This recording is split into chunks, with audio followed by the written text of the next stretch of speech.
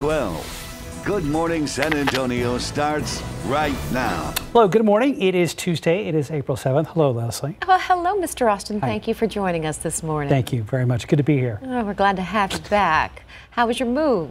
Oh, it stunk. I've, n- I was telling uh, people on Facebook over the weekend, I've never in all my years of moving had to move during downpours. I mean, thunderstorms. And I know it happens all the time, but Well, thank goodness you hired a moving company and you didn't have to load everything on the back of a truck, and you actually got it to go into an enclosed truck. the truck had a leak. Oh. So they had to move boxes out, bring another truck, load boxes back in. But I've never seen movers move so fast with dollies and boxes. They earned their tip for sure. Wow. Well, I'm glad that you're back. It's, I'm glad it's all done. It's good to be back and have something semi-normal, you know, going on here. And that's your shining face across the desk. Aw, thank you. Well, this Welcome. one, this talker this morning isn't what you'd call normal, but it is pretty fantastic. It's pretty cool because uh, you know everybody's doing this uh, teleconferencing, Zoom videos, things like that. virtual cocktail parties, catch up with friends and family, all that kind of stuff. Well, how about virtual bingo with a super duper star? Mr. All Right, All Right, All Right, Matthew McConaughey, the Dallas Buyers Club star, recently joined residents of a senior living facility up in Round Rock. Yeah, this is Enclave at Round Rock Senior Living in Texas. He had a rousing game night over Zoom, and he wasn't the only one. As you can see here, his wife, Camila, his mom, and, his, and two of his three kids joined as well. The uh, senior VP of Sales and Marketing for Spectrum Retirement told Good Morning America the generosity and kindness that Matthew McConaughey and his family showed our residents was beautiful, but more importantly, we were gifted with a humble message from his heart. It's so sweet. And they said, for that, we'll be forever grateful. And the video posted that you're seeing here, the Oscar winner can be heard calling out the numbers, namely I 24, as two seniors, Richard and Charles, say bingo. And on the Enclave Senior Facilities Facebook page, they go, Hey, thank you, Matthew, his wife Camila, and his mom Kay for hosting our residents a few rounds of virtual bingo. Our residents had a great time playing, and they loved talking with Matthew about his family heritage and his favorite drink. But, you know, I can hear Matthew McConaughey in my head. I haven't watched, I haven't heard the video, I've only seen it. Right. But I can hear him calling out numbers. I 24. I can too.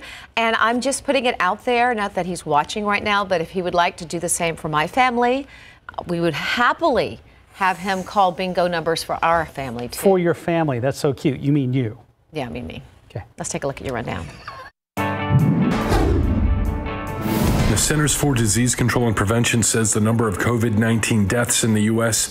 may be higher than its count. The CDC says that's due to two main reasons. This information usually lags a week or two, and some may be misclassified as pneumonia deaths. President Donald Trump is wishing British Prime Minister Boris Johnson well wishes as he remains in intensive care at a London hospital due to COVID 19. He was taken to the hospital on Sunday but was moved to an ICU after his condition worsened. Dr. Patrick Borden says 80% of the patients at his Brooklyn hospital are infected with coronavirus. I made rounds up on the eighth floor of the hospital, and it looks like a war zone. Local police and psychologists are preparing for a possible increase in suicide calls as the pandemic continues. Officials say the uncertainty over the pandemic, such as when it will end and the level of isolation, can take a toll on people mentally. Mayor Ron Nirenberg is recommending that everyone wear face masks when they go out in public.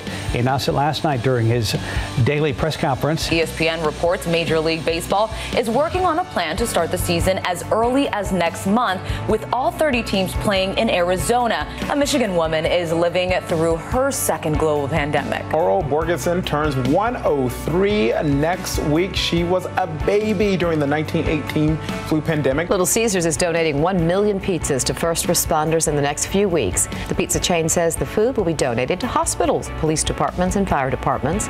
Put on your mask when you go out in public. We're all familiar with the term essential workers, but officials in New Zealand want to clarify the term is not just doctors and grocery store workers. New Zealand has added the Easter Bunny to that list, as well as you can't forget the Tooth Fairy. Essential. Absolutely essential. Let's check outside, see if it's cleared up at all. It was not a very nice start to the day today. It's getting a little better. A little better. We, we looked there at live cameras. We looked down on Central Catholic, and it looks like visibility is improving, at least here downtown. And I think we're going to steadily see visibility improve around here. We started off with a lot of fog this morning. You know that if you've been outside. Visibility Still low in a few spots, especially as you get out towards Uvalde and Hondo. Here in San Antonio at the airport, about a mile and a half visibility, so not uh, too horrible. Forecast for today, up around 86 degrees for a high. We'll call it partly sunny. I do think we'll see some sun today. We could be talking about a heat index this afternoon because we've got the humidity and we'll have the heat probably today and uh, tomorrow. We'll be dealing with that. Pollen count is in. Oak, right about where it was yesterday, 2,000. Uh, it's in the high category. Mold is moderate. It's come down a little bit. Mulberry and pecan both in the low category. Temperatures at this hour right around 70 degrees. Again, it will be a warm one. 84 by 3 o'clock, 86 by 5 o'clock. Can't rule out a stray shower or storm today, but I don't think that's uh, likely at all. Southeasterly winds 5 to 10 miles per hour. Now, tomorrow, rain chances do start to increase a little bit. And as we get into Thursday, they really jump up. We'll talk about that forecast here in just a couple minutes. Guys? Thank you, Justin. There's 35 upper and lower levels at Brooklyn, 410 at Fredericksburg. A little jittery there. Yeah.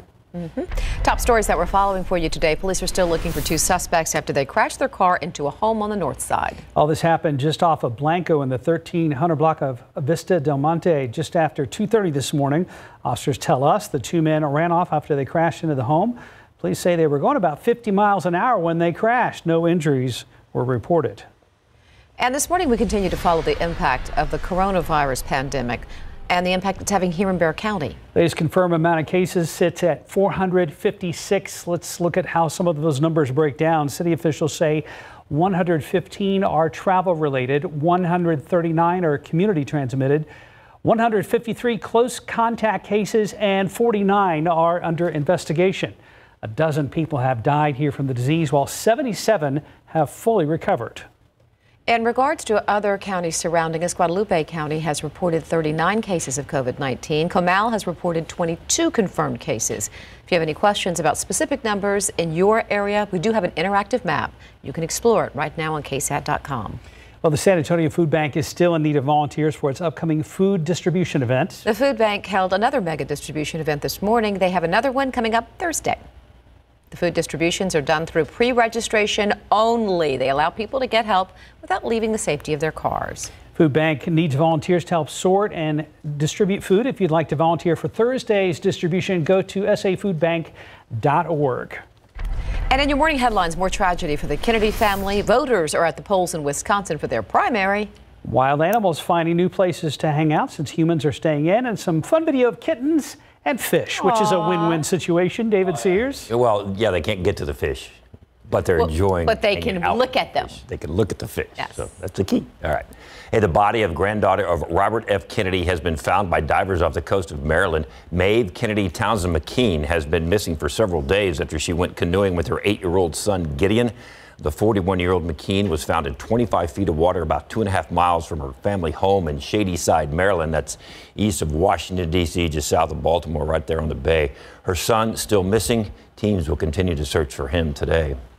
Interesting day in Wisconsin. The state under a stay-at-home order while they're also holding their primary. The polls are open, so they are trying to balance the two. The governor of the state tried to halt the primary and move it to June. He even tried an executive order, but no go. State Supreme Court shut it down. Then the U.S. Supreme Court ruled against an idea to extend absentee voting six days. So they are doing what they can to protect workers. There are voters in line with and without masks. Workers at polling stations are wearing the masks. There are shields protecting workers. The National Guard has also been called up to help out. The results may not be known tonight. That may not happen until around April 13th because of an apparent court ruling. While there are so many people staying at home, there seems to be more open spaces outdoors. For example, animals love to roam, and that is a herd of elk that you saw just a second ago hanging out on a football field in Golden, Colorado. There they are. Look at all those guys just hanging out. Might as well take up the room. No football players. Colorado Parks and Wildlife said animals adapt to our behavior. A lot of folks are hitting hiking trails for daily walks, so animals move around to not so crowded places like those trails. As we continue to slow down or avoid uh, certain areas, then it's absolutely logical that wildlife could use those spaces if it provides everything that they need uh, food, shelter, and water. Looks like an offensive line right there, doesn't it? They say it's too early to tell if Colorado's stay at home order has impacted wildlife habits just yet. While there are many warnings to socially distance on local trails, this goes to all of us here in San Antonio and Bexar and surrounding counties to admire wildlife safely from a distance, meaning never try to get too close or touch the wild animals. And being home more often may mean you'll spot something in your neighborhood. Hey, the Georgia Aquarium close to humans, but not the fellow kittens. Look at the little guys. The Atlanta Humane Society took some kittens for a visit to hang out with the fishes. So meet Nemo, Guppy, Marlin, Bubbles, and Dory. They're all up for adoption. They're Still trying to have- get those Yeah, fish, look at aren't them. They're, they're going to just watch them dart around. That's There's adorable. still really no evidence that pets can spread COVID 19, so the humane societies are encouraging to adopt pets if you, uh, if you so choose. So there you go. Uh, David, I have to call you out real quick. Uh oh. What do I do now? I have nothing to do with this. You have nothing to do with Here this, Mark. Yesterday on the show, I Uh-huh. was filling in for you, Uh-huh. And we were talking about uh, Netflix releasing a new episode of Tiger King. Yeah. And he got the soapbox out and stood on it and said he's, his goal is to never watch one single episode of that. Oh, not even the original. Not one single ever, not Okay. one ever.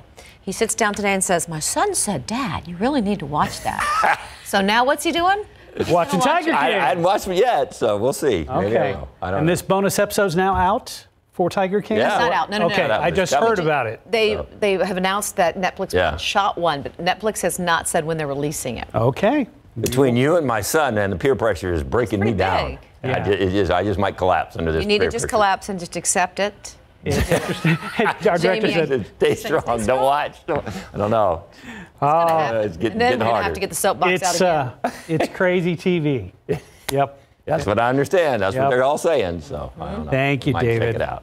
Thanks, David. All right. Next up, uh, documentary with you, Tiger Queen. Oh no no no no. No? No, that's a no. That's, a no. just a rumor. Okay. It's not oh, true. Oh, is it? You just started it. 910 right now, 69 degrees still ahead on GMSA at 9. Since you can't go to the movie theater, new movies are coming to you. A preview of the two major films now available on home video. San Antonio's Mayor Ron Nirenberg recommending anyone over the age of five wear a face covering while in public. Tips on how to make your own coming up later in the newscast. And just because you're staying home doesn't mean you can't work on your skills. Oh, just a little bit off. After the break, what the Spurs are doing to step up and help out. Checking the stock market, it's doing well today, up 641 points at 23,335.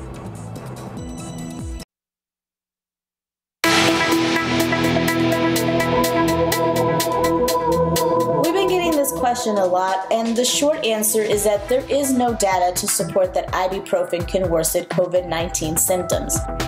This question came about after France's health ministry suggested on social media that popular anti inflammatory painkillers could worsen the effects of COVID 19. But this warning was quickly questioned by major health agencies and regulators. The World Health Organization and other leading agencies now say there is no evidence to support the suggestion that ibuprofen might worsen the symptoms of COVID 19. If you have a question, keep sending them in. Go to ksat.com and you can also sign up for our SAQ newsletter by going to ksat.com slash newsletter. As the stay home work safe order is in place, the Spurs are stepping up, helping out, and doing what they can to help kids stay active. Mr. Max Massey joins us live. Max, what are the Spurs doing and what are you doing? Yeah, what are you doing? I like your mask. Hey guys, I have been actually working on my game throughout the morning, hence the sweat and the mask really making me worse. That's what I'm going to blame for missing the shot in the tees. But anyway, the Spurs have the Spurs Sports Academy, letting kids work on their games from home. We are joined by Austin from the Spurs. So Austin, what is the point of this app? Yeah, so we uh, are partnered with Bology, um, where people can download the app free of charge, um, and we give them different drills, competitions, um, and skills to work on throughout the week. Now, what are some of these competitions? So this past week we did a bank challenge uh, using the using the backboard, of course, 30 seconds, see how many you can make. This next week we're going to work on our layups right and left hand for Okay. speed. Now, the bank challenge was in honor of Tim Duncan. It was well, it, it happened before, but it, go figure, it was right after uh, he got announced. Yes, sir. All right, now one of the things you were emphasizing was working on your game without a hoop. What are some things that kids can do right Absolutely. Uh, easiest drill we can do is work on our ball handling, right? Everybody needs to improve it, um, try to get better at it. So, you want to show some drills? I'm to try. All right. So, blame the mask if anything goes so we'll have our feet shoulder width apart, just small basic things. We're going to work on our right hand, 10 hard dribbles to our waist, all right? So, Now, oh, don't be looking at the ground though. Keep our eyes up, right? All right, left hand. Switch to our left hand. All right, then crossovers, back and forth. Looking down is really difficult. And it's the hard part, right? Right? We can work on it. All right, good. So after we're done, we're always two claps. We gotta give You two it claps.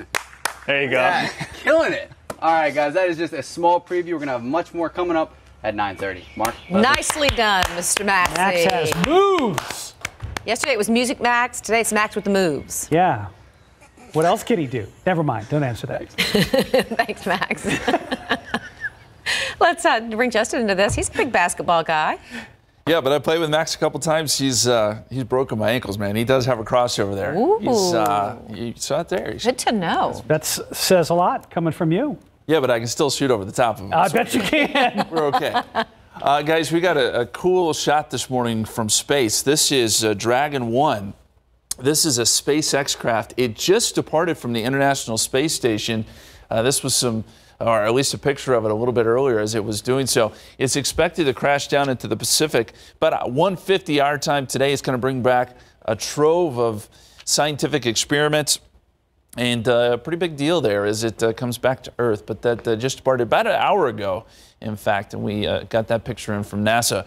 Let's take a look at the time lapse. A lot of fog out there, and uh, we can see that it was pretty thick earlier. We're starting to see some improvement now, just within the last hour. Watch how quickly that happens. Of course, we're time lapsing here, so uh, it looks a lot quicker than it actually happens. But uh, we're starting to see again some improvement. 69 degrees, dew point is at 68. South southwest, southwesterly winds at about three miles per hour. There's a look at your visibility down about a mile and a half in town. Three quarters of a mile, Port SA, still very poor visibility out towards Castroville and about a mile and three quarters there in Pleasanton. Let's check in on some of the TransGuide pictures. That looks pretty good. That's 90 at couples, not a problem there. Uh, and uh, 10 west looks pretty good there too. So again, I think across town we're going to see these visibilities really start to come up. The satellite picture shows still quite a bit of cloud cover. We didn't see a whole lot of sun yesterday. There was some there, but not a lot. I think we'll see a bit more today. Temperatures already warm, near 70 degrees here around Bexar County. And then as you get out west, there already are some breaks. 69 Del Rio with a little bit of sun there this morning. 69 in Uvalde, 70 in Carrizo Springs, and some pretty warm stuff across our eastern counties too. Dense fog advisory in effect for about another 45 minutes or so. That does include Bexar County. And look at the dew points; they're so high. So it stands to reason. We got the fog this morning. The moisture really surged in here. Dew points in the 60s and now mid 70s. So not only are we going to have heat today, we may actually be talking about a heat index. It's been a little bit since we talked about heat indices, but I think they'll be around today. Maybe we tack on a degree or two to our actual temperature. 89 is what it may feel like this afternoon here in San Antonio, some 90s out west. Doppler radar isn't showing us much. Got a couple of very light returns down there around Cotulla. That's it. We're not looking for much rain today, but there is an upper level low out to the west. This is going to be working in our direction slowly but surely as we get towards the weekend. So we've got a couple of chances of rain here, and you see the steady dose of high cloudiness. We'll continue to get some of that today, too. So here's what the futurecast looks like. Well, let's jump into tomorrow because today I don't think we see much. Tomorrow afternoon, 5 o'clock, we've got showers and storms developing. And I think this is just isolated stuff. This may be overdoing it just a little bit, about a 20% chance. But if we do see some showers and storms tomorrow, they have the potential to be on the stronger side. I think Thursday's our better day for rain. We get a frontal boundary in here. That should enhance our rain chances. Thursday, we could see a couple strong storms too. And uh, even into Friday, we'll have some more rain chances. Saturday, too. But by Easter Sunday, it's looking pretty good. So the forecast improves, and uh, we've got some good news in that regard. Temperatures today up around 86 for a high. Southeasterly winds 5 to 10 miles per hour. And then tomorrow, 89. 20% chance of rain, but a 60% chance Thursday, 40% chance for Good Friday. Probably cloudy, too. 50% chance of some storms on Saturday, but it clears out. 79 Sunday, mostly sunny. And next week, looks like we're going to get a pretty good front. We could see temperatures for high temperatures back in the 60s on Monday, guys. Thank you, Justin. 920, 69 degrees. Still ahead on GMSA at 9. Two new movies are available to stream from, your, from the comfort of your own home, and we have a preview of both coming up after the break. 923, the coronavirus pandemic has changed a lot of things around the world, including how new movies are released. Instead of going to the movie theater, some major movies are coming to you. CNN's David Daniel looks at what's landing today on home video. This is Meg, Amy, Beth, and Jo. Little Women leads a trio of big movies onto DVD and Blu ray, with a half dozen bonus features about the Oscar winning adaptation of the Louisa May Alcott classic. Another remake, Dolittle, starring Robert Downey Jr., also arrives on disc this week, as does another adaptation, the controversial Cats. If we've opened up our own store, we're winning.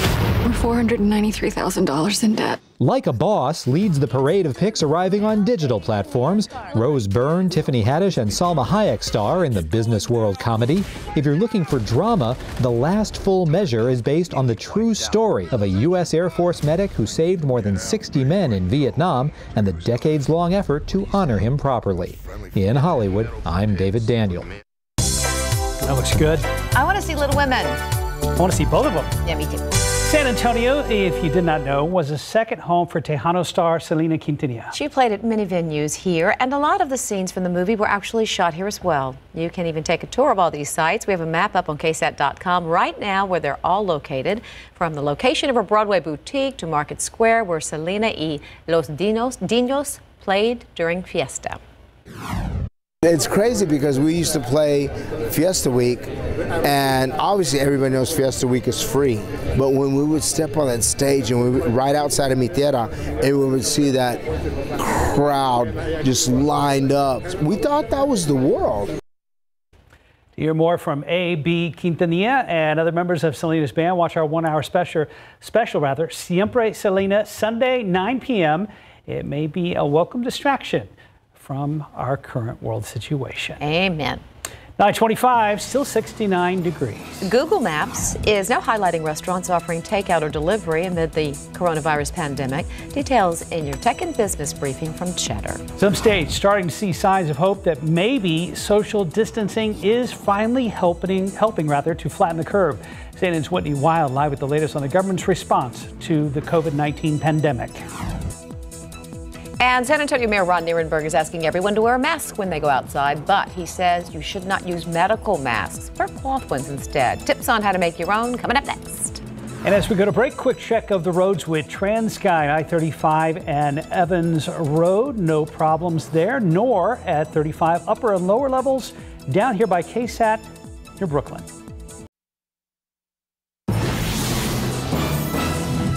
Starting today, San Antonio Mayor Ron Nirenberg is recommending that anyone over the age of five wear a cloth mask or face covering while in public. RJ Marquez shows us some simple face coverings that you can make at home in this week's Adulting Hacks. There has been a major shortage of medical grade face masks across the country since the pandemic started.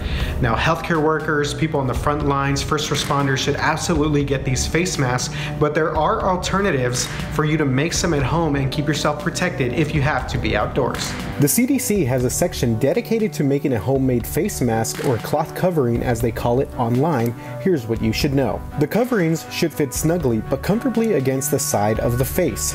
Make sure the coverings are secured with hair ties or ear loops. Here's an example with a bandana. Next thing, include multiple layers of fabric and allow for breathing without restriction. Some types of fabric to look for include tightly woven cotton, such as quilting fabric or cotton sheets. A t-shirt fabric will also work. Joann Stores has tutorials on their site and their rule of thumb is that if you fold the fabric in two layers, you shouldn't be able to see through it, but you should still be able to breathe through it. A few more things. Make sure the covering can be laundered and machine dried without damage or change to shape. Also, be careful not to touch your eyes, nose, and mouth when removing the face covering and wash your hands immediately after it's removed. Again, the CDC has several ways that you can make a face covering using a sewing machine or different sewing methods. But if you don't have that or you don't have any hair ties, one of the most convenient and easiest ways includes a pair of scissors, a ruler, and an old t-shirt. Cut 7 to 8 inches up from the bottom of the shirt and then about 7 inches from that section. Remember, if the shirt's bigger, then you may have to cut a little bit more. And finally, cut the tie strings to tie around the top of your head and neck. Making a face covering is not a replacement for social distancing. Those guidelines are still in place. This is just an added layer of protection if you have to go outside or go to the store. I'm RJ Marquez. To see more stories like this, watch KSAT News at 9, Monday through Friday. Live cam giving us another look outside. That's Central Catholic, isn't it? Right across the street from us. Those are our neighbors. Mm-hmm. very empty right now. And there are mornings when we can't see our neighbors because the fog is That's so true. thick. Good news, we can see them now. The uh, the fog is starting to clear up. We're seeing that in some of our pictures too. Take a look at this KSAT Connect picture. The fog was there a little bit earlier. Rob sent this in. Rob 95 uh, Texas Ag, it looks like, and we've got some clearing skies there on the right, showing that the fog is trying to uh, clear up some as uh, you look at the tower there. Uh, visibility in miles around Bexar County, we're talking about a mile visibility about Port, around Port SA, mile and a half to the airport, uh, up to a quarter of a mile down Castroville. That, that is still low visibility, but it's better than what it was last uh, time we looked. It's close to zero. Hondo also seeing some pretty thick fog. Temperatures up around 70 degrees right now, 70 at Randolph, 71 Floresville, 72 in New Braunfels. In the forecast for today, up to 86. There is an outside chance for shower or storm, but it is very low, only 10%. Southeasterly winds will be light. We'll see some sun this afternoon and even warmer temperatures tomorrow with the threat of a few storms. We'll have more on that in just a few minutes. Guys. Thank you, Justin. 35 at uh, Brooklyn downtown, looking great. 410 at Fredericksburg. Light traffic in both directions. Well, schools, gyms, and community basketball courts are closed, but there are still easy ways your kids can work on their basketball skills. Indeed, the Spurs Sports Academy teamed up with the Bology app to host virtual camps. Max Massey joins us now. Max, let's talk more about this. Oh, you app. show off. yeah, Look I- at you. You read my, my yeah. That was it. That was the only shot I'm making today.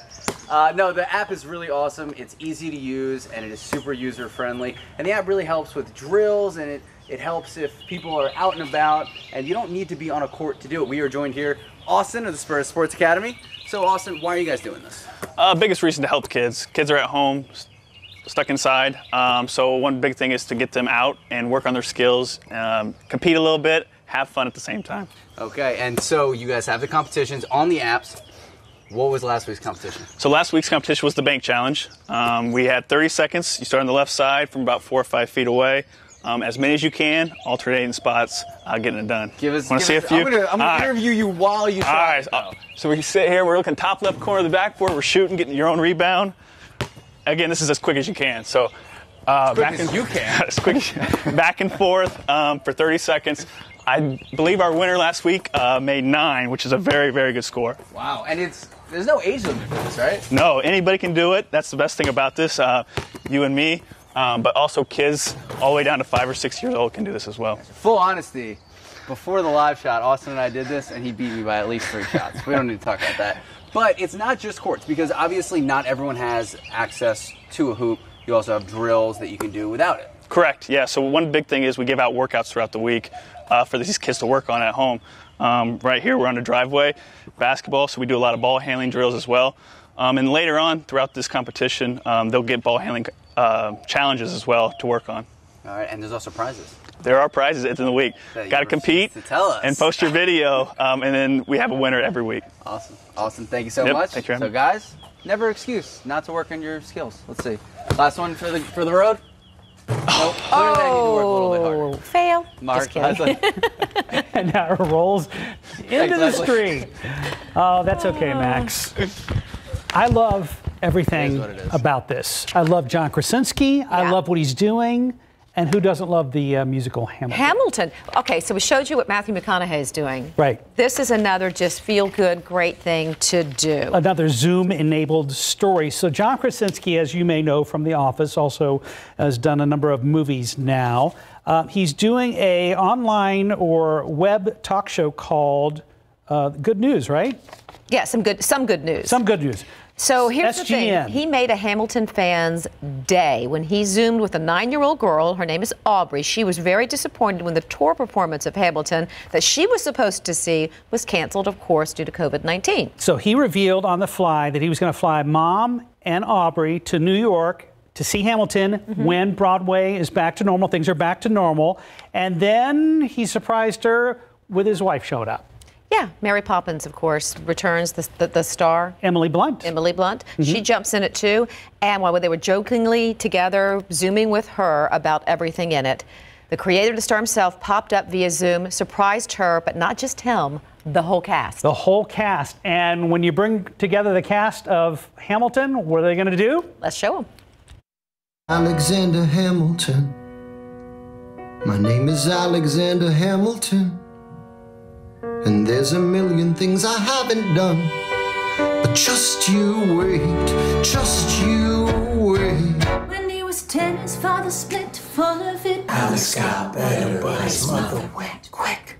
Moved in with the cousin, the cousin committed suicide. You gotta fend for yourself. Started retreating and reading every treatise on the shelf. Sugar cane and rum and Everyone from the original cast did this for her. She was clearly stunned as she watched and cheered when it was over. This is on our website, ksat.com. The video has gone viral. And how did they even harmonize in real time? I mean, I'd assume there maybe be some lag in there. I mean, it was amazing. They had to have practiced, right? Or they've just, they're so good and professional because they've done it so many times. They're that good. But we've seen that the symphonies get together and do it to put, you know, put on performances and different groups. I love it. It's Absolutely changed the love it. world in a great way. And thank you again to John Krasinski for some good news. And Cute little talk show. You and your family will still get to see the show as soon as all this is behind us. She's not going to miss her shots. Right Nope. now, 938, 69 degrees. You're watching GMSA at 9. There's been a lot of drama over the Navy's response to the coronavirus, especially on the USS Theodore Roosevelt. After the break, CNN's Whitney Wild joins us live to break down the latest. But first, let's check in with our friends over at Cheddar. Hello, everyone. This is your daily tech and business briefing from Cheddar. American Airlines joining United and JetBlue in reducing the number of flights at New York area airports. This is the city braces for its worst week yet since the coronavirus outbreak began. Now, altogether, airlines have slashed more than 90% of their flights to New York City. Between April the 9th and May the 6th, American will operate just 13 flights a day out of JFK, LaGuardia, and Newark. Meanwhile, Quibi's launch off to a rough start with many users reporting hour-long outages on the app. During the outage, some users saw error screens, while some were unable to even create an account. Quibi, not the only streaming platform to crash on its launch day, Disney Plus also had experienced similar outages on its premiere day this past November. And Google Maps now highlighting restaurants offering takeout or delivery amidst the coronavirus pandemic. This is food delivery growing in popularity as many states enforce stay-at-home orders. Some restaurants will allow you to order within the Google app. The feature is currently only available in the U.S., but Google hopes to launch in other markets soon. And that's your Cheddar Business to Tech Update. I'm Baker Machado from New York City.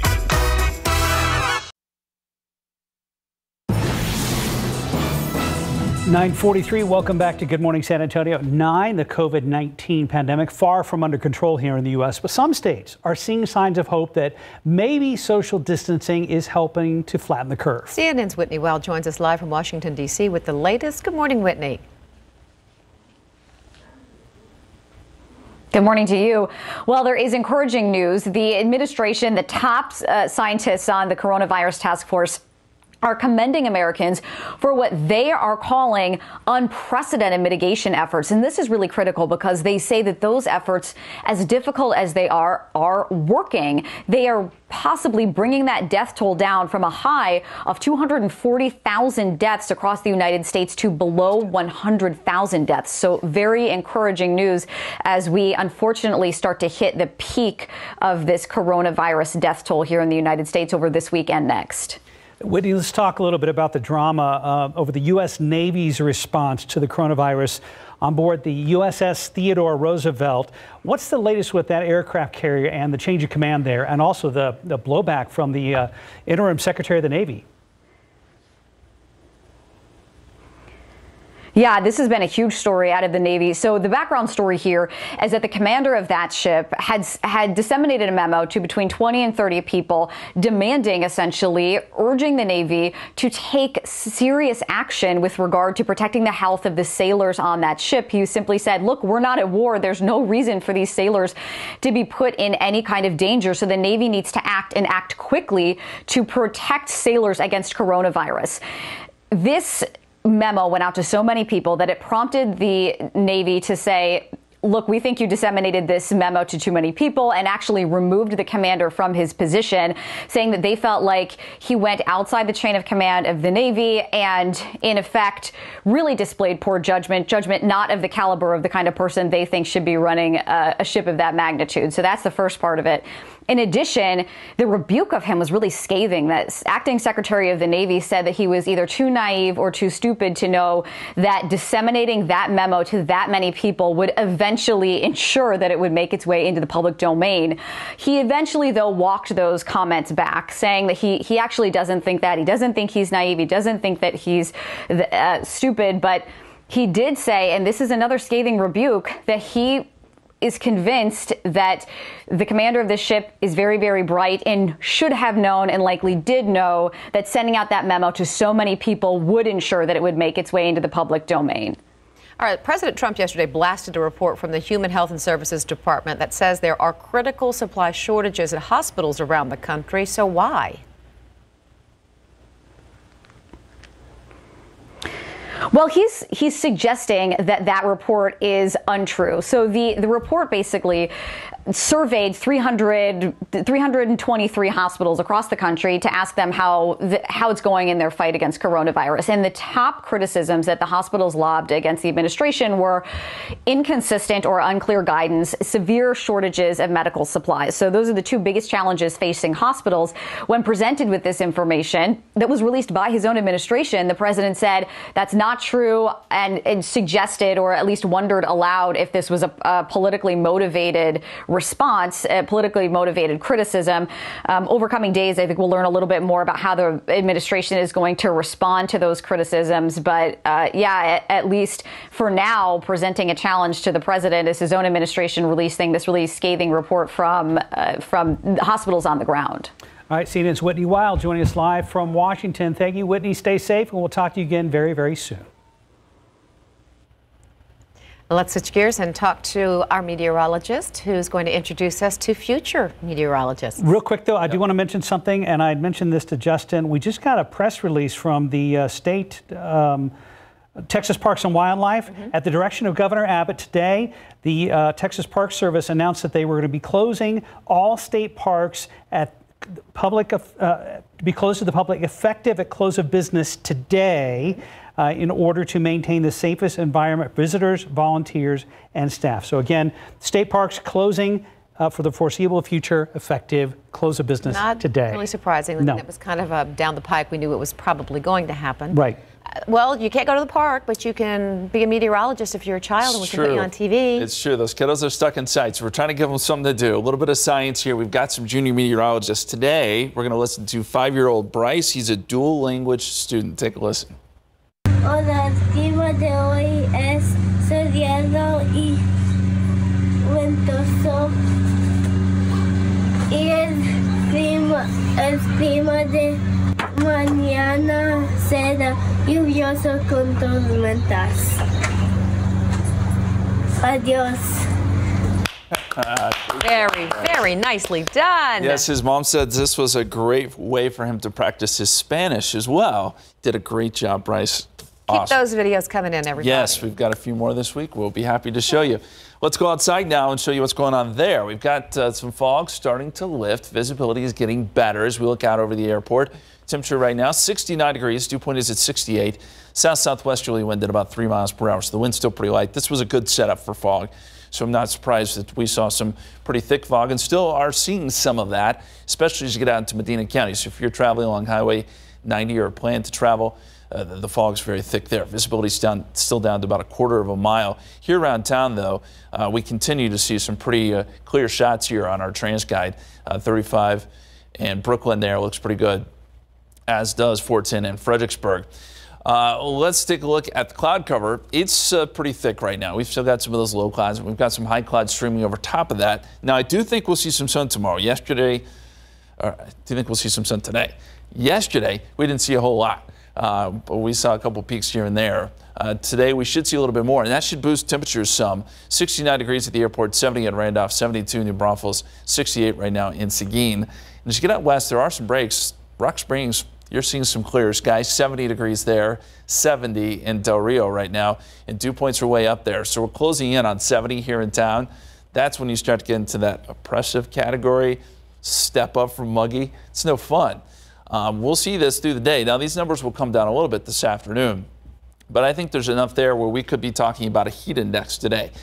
yes, high temperatures will be in the mid 80s, but we may have to tack on a degree or two uh, with that thick humidity. So it may feel like 89 here in town this afternoon. We may get some feels like temperatures in the mid 90s down to the south and west. So a little more summer like today. Doppler radar isn't showing much. In fact, uh, we're getting the all clear. I'm not looking for much to show up today. It's probably tomorrow where we have a slightly better chance of an isolated shower or storm. This is 6 o'clock today, and the computer model is not showing us anything here. Now, as we get to uh, tomorrow, this is 5 o'clock. I do think we could see an isolated shower or storm pop up. It'll be few and far between. But if we do see something show up tomorrow, it has potential to be strong. So we'll keep an eye on that. Uh, long term here, let's go to Thursday. This is Thursday morning.